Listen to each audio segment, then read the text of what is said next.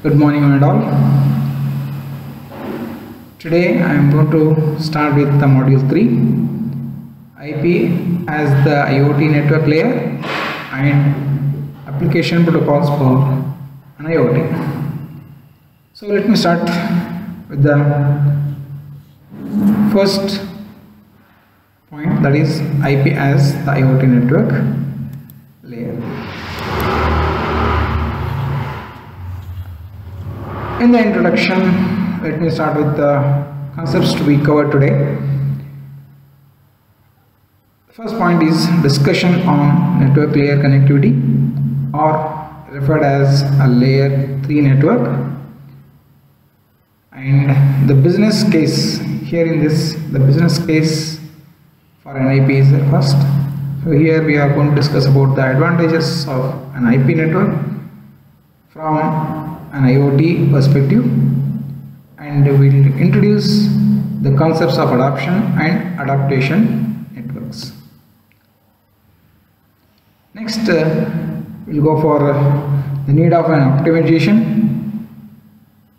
Here the challenges of constrained nodes and devices when deploying an IP along with the migration from IPv4 to IPv6 and how it affects to the IoT networks.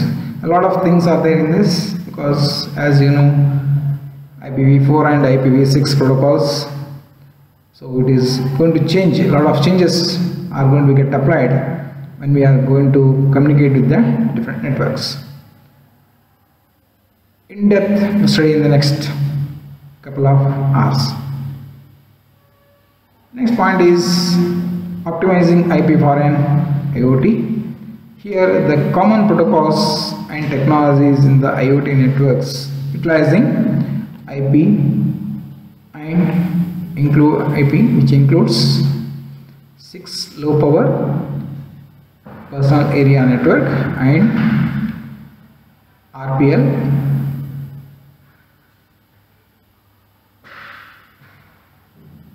Next is at the end we'll discuss about the profiles and compliances. Here some of the most significant organizations and standards what is involved with IP connectivity and IoT. Let us begin now with the business case.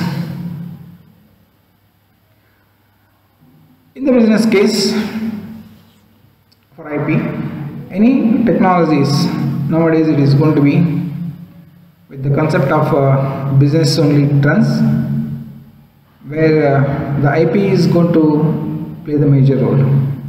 IP is nothing but an internet protocol. So let me start with the point here data is going to be from the from or the things is consumed controlled and monitored by data center servers either in the cloud or locations that may be distributed or centralized. Here we can say that when we are talking about the uh, things is nothing but uh, anything anything that we will be going to connect in case of uh, IoT so data or we can say that in the business so IP is the, plays a major role over here. Without the internet none of the e-business will be get executed. When we say about the e-business it is going to have the controlled monitored and consumed data is going to be present. So how this is going to work out? In the next we will be going to see. that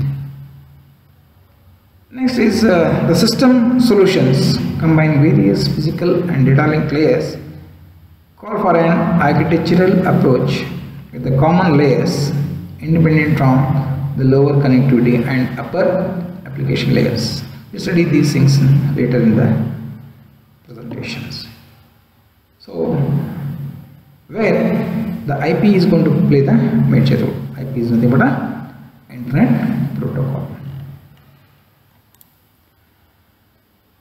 The major or we can say that key advantages of IP for Internet of Things. So here we say that uh, there are seven, there are eight can say, um, advantages are there. More than this also it is going to exist nowadays. Open, first is uh, open and standards based.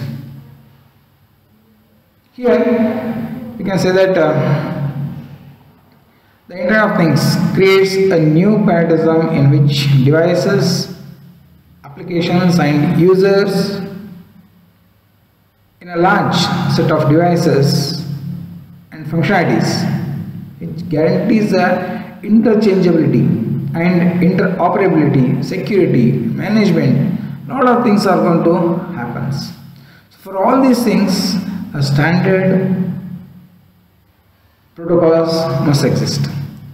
So here uh, we can say that uh, to make that standardization, many standard development organizations are going to exist here. That is uh, SDO, that is uh, Standards Development Organizations. They are working on Internet of Things, Internet of Things definitions, frameworks, applications and technologies. One of that is uh, IETF that is called as Internet Engineering Task Force. This is the foundation for specifying and optimizing the network and transport layers. Basically the IETF is an open standard body that focuses on the development of the internet protocol suite and related internet technologies and protocols. Next comes to the versatile. What do you mean by this versatile? A large spectrum of, of access technologies is available to offer connectivity of things in this last mile. It is till end. All the there are different technologies are going to exist. Things is nothing but anything, anywhere, you'll be able to connect. So when uh, you'll be going to connect, even if the physical and data link layers as some Ethernets, Wi-Fi and cellulars are widely adopted and uh, the history of data communication demonstrates that no given wired or wireless technology fits all deployment criteria. It is true because some cases you will be going to connect with the layered network, some cases we will be going to connect with the Wi-Fi's and some cellular networks. So data communication is in any standards that it is going to get applied. Communication technologies evolve at a pace faster than the expected 10 to 20 years of lifetime of an OT technology or OT solutions. OT is nothing but operational technologies. Nowadays, even whatever we are studying, the IoT, it is uh, a long back it have been come, but now we are studying. In the industry, if you compare the industry, in the industry IoT 4 is there, IoT 4.0 technology is existing. We are studying or we are implemented or we are studying IoT 1.0. So there is a gap is there. To fill the gap, we need to apply our knowledge for the certification programs so that we will be going to get acknowledged with the current trends.